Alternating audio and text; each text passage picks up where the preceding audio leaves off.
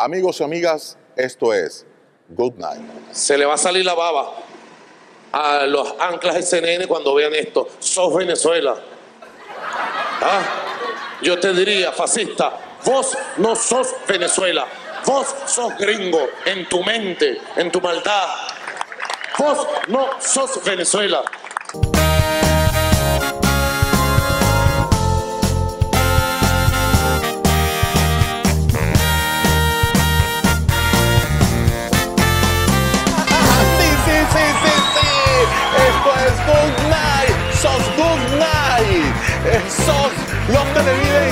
Sos Carlos Pereira. Sos DTV. Bienvenidos una vez más a este magnífico programa para todos los motorizados y motorizadas que nos están viendo en el planeta Tierra a través de las pantallas de Internet. Sí, sí, sí. Hoy vamos a tener un programa muy especial porque la campaña SOS, ahora SOS Venezuela es SOS. Pero recuerden como dijo el presidente Nicolás Maduro. Él dijo, SOS gringo, SOS, vos no sos venezolano. Tenemos que decirle al presidente Nicolás Maduro entonces, ¿qué es lo que quiere decir? SOS colombiano, SOS incapaz, SOS torpe, sos republicano, sos, ¿qué es lo que quiere decir la palabra sos? Vos no sos Venezuela. Venezuela. Venezuela. Vos no sos Venezuela. Venezuela. Venezuela. Fascista. Vamos a analizar aquí el SOS o la palabra SOS. Pero SOS Good Night para todos ustedes les va a analizar esto enseguida. ¿Por qué? Porque la palabra SOS, ustedes la pueden interpretar, por ejemplo, como el final de la gente que no quiere hacer nada. Perezosos termina en SOS. Ustedes también le pueden atribuir esa palabra a algo que sea muy bello. Hermosos termina en sos. También se la pueden poner, por ejemplo, al sabor de algo que es muy agradable cuando es en plural. Deliciosos termina en sos. También a los productos lácteos masculinos en plural. Quesos. Quesos termina en sos. Entonces, ¿a qué más le podemos poner esa palabra? Se la podemos también poner a la gente del Departamento de Estado en los Estados Unidos de Norteamérica que están trabajando con las nuevas manufacturas e inclusive de defensa con el presidente Barack Obama que son muy ingeniosos, muy ingeniosos. ¿Por qué son muy ingeniosos? Vean el video. Today, I am joined by researchers who invent some of the most advanced metals on the planet, designers who are modeling prototypes in the digital cloud, folks from the Pentagon who help to support their work. Uh, basically, I'm here to announce that we're building Iron Man, Iron Man, Iron Man.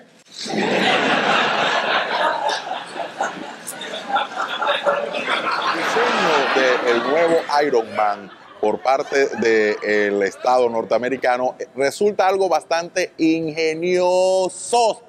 Pero ellos son muy ingeniosos y muy graciosos. Sin embargo, también en Venezuela ya se están adelantando, posiblemente es información rusa de última hora que está llegando a través de, eh, para protegerlos de la campaña del SOS, o mejor dicho, el SOS, ¿ok? Entonces ellos también ahora se están poniendo ingeniosos. Vean los Iron Man que ya están allá en Venezuela. Y son bastantes.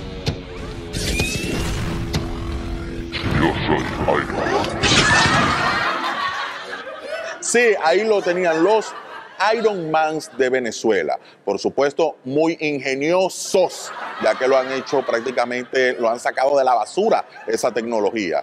Eh, han sacado, mejor dicho, de la basura los materiales con los que han logrado esa tecnología. Por lo tanto, se ve que son bien creativos, ingeniosos, trabajosos y hay algo que nos llamó también la atención, es que en cadena nacional el presidente Nicolás Maduro hizo un llamado a los motorizados y motorizadas por la paz. Él organizó en cadena nacional motorizados y motorizadas por la paz. ingeniosos. Y los compatriotas motorizados y motorizadas, estamos conectados con toda la patria en cadena nacional de radio y televisión desde el Palacio de Miraflores, recibiendo a los movimientos por la paz y la vida de motorizados y motorizadas. Bienvenidos a su casa. Esta es la casa del pueblo. Sí, ahí estaban viendo las imágenes. Eh, estaban concentrados, bastante grasosos por el calor, bastante, eh, se notaban algunos hasta apestosos porque son muchos vapores humanos juntos en esa concentración. Pero mi pregunta es, motorizados y motorizadas por la paz, ¿no es algo así como prostitutas por la virginidad? Sí, sí, sí, esto es Good Night. Sos los televidentes, sos el corte y sos que ya volvemos acá. Sos los televidentes, sos Good Night para todos los millones y millones de personas que nos están viendo en el planeta Tierra a través de la internet. Sos.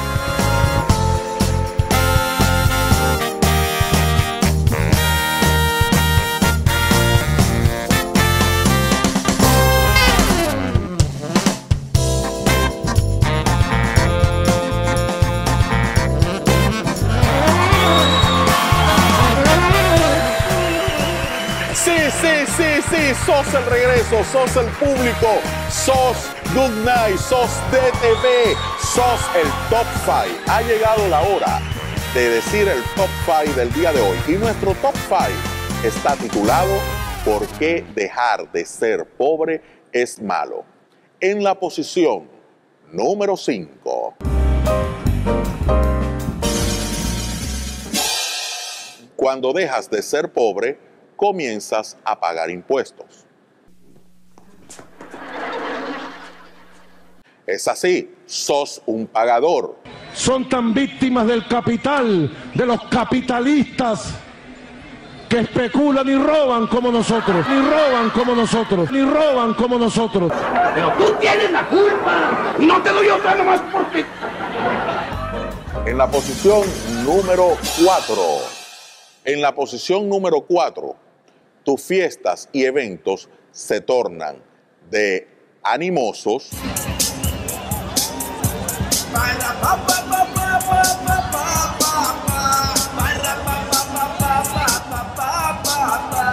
de animosos a fastidiosos.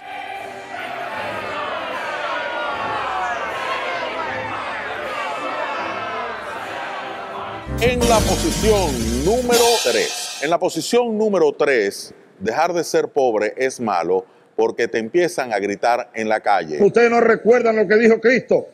Más fácil será que un camello entre por el ojo de una aguja a que un rico entre al reino de los cielos.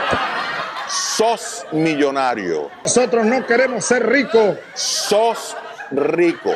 Ser rico es malo, malo, malo. Sos boliburgués. Es malo, malo. Rico es malo, malo. Es un arma terrible, un arma terrible del capitalismo, del capitalismo. Es inhumano, así lo digo. Y condeno a los ricos cada vez que les dé la gana. Y en la posición número sos, pe- perdón, eh, amigo, en la posición número 2, financias proyectos inescrupulosos. Aquí, SOS, SOS. ¿Quién, hizo la campaña SOS?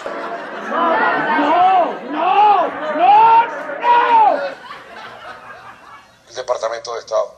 Sé la- el nombre de- del creativo y de la empresa que le encargaron esta campaña.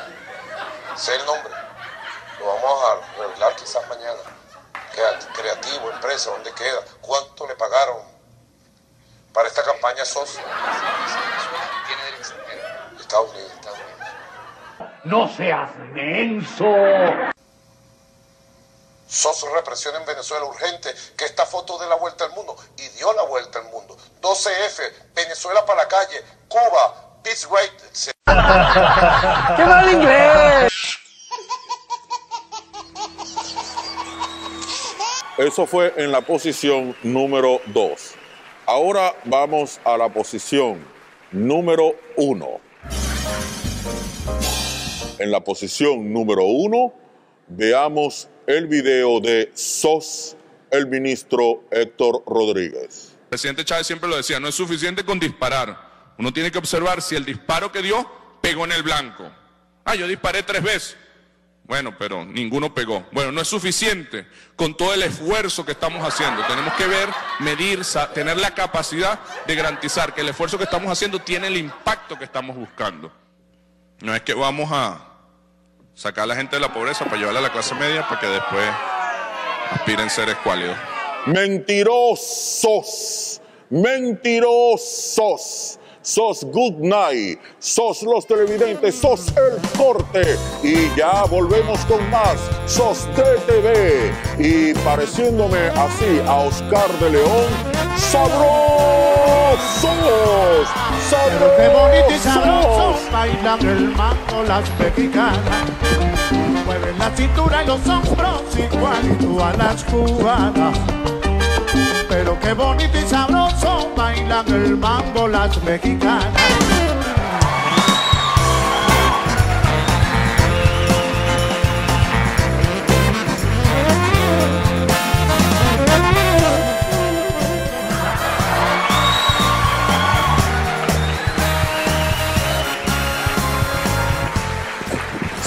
Esto es Good Night, el programa favorito de los motorizados y las motorizadas a través de sus pantallas de internet en todo el planeta Tierra. SOS Good Night, SOS los televidentes, SOS DTV.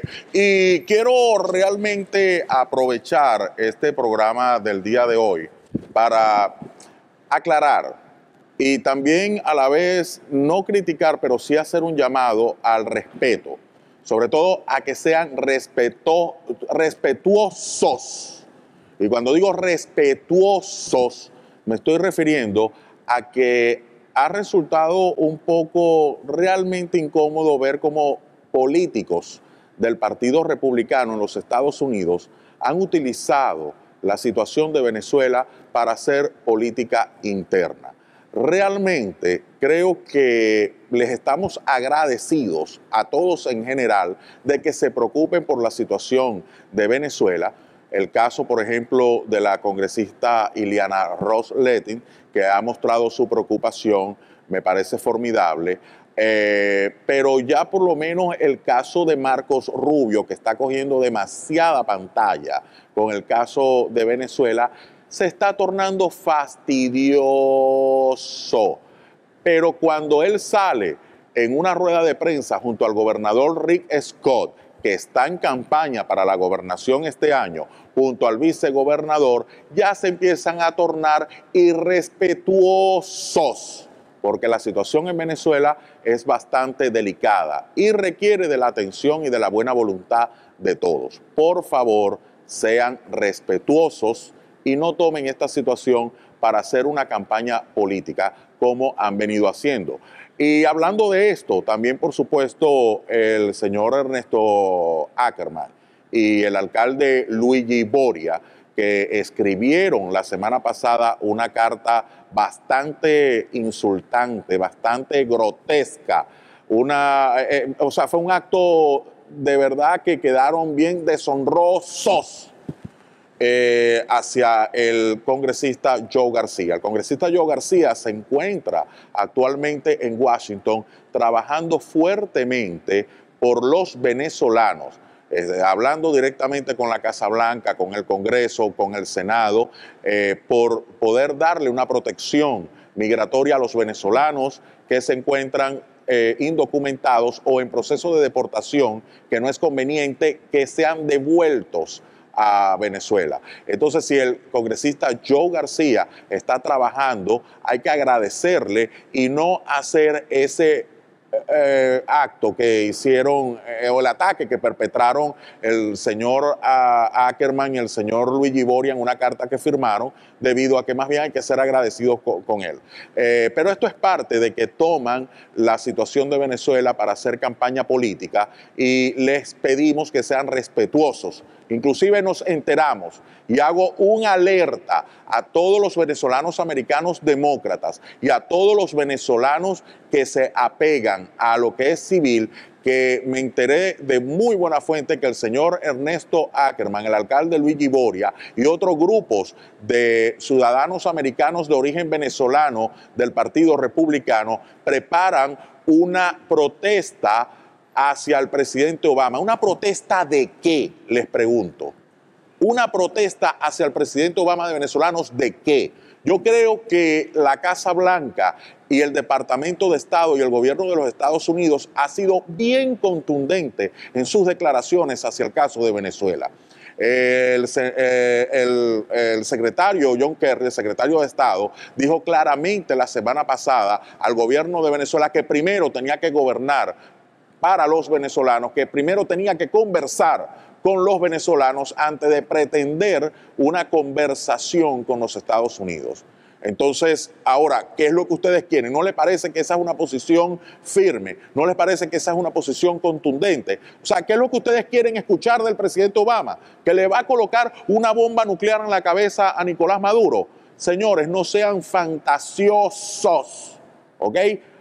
Vamos a tener cordura, vamos a tener respeto, vamos a tener calma, porque realmente ustedes a cualquiera lo van poniendo en una situación bastante, yo diría, calurosa, ok, ya nos estamos poniendo calurosos de que estén tomando la situación tan delicada que está atravesando Venezuela en estos momentos, en estos momentos donde mi amigo que envió un abrazo fraternal, un abrazo grande y un beso a su esposa. Mi amigo Leopoldo López está pagando cárcel injustamente para que ustedes estén aprovechando toda esa situación y hacer campaña política acá en los Estados Unidos. De verdad, agradecemos su atención, pero ahorita las causas de Venezuela necesitan apoyo no necesitan un boicot, no necesitan de que estén protestando contra el presidente Obama, no necesitan de que se ofenda a Joe García, a quienes más bien le tenemos que agradecer, al igual que el senador Bob Menéndez, que ha sido bien contundente en la situación con Venezuela. Por eso les pido, seamos respetuosos. Y ahora sí, Llegó la hora de despedir. Esto ha sido Good Night para todos los motorizados y motorizadas en el planeta Tierra a través de la internet. SOS el público, SOS deporte, SOS nos SOS motorizados. Esto es Good Night.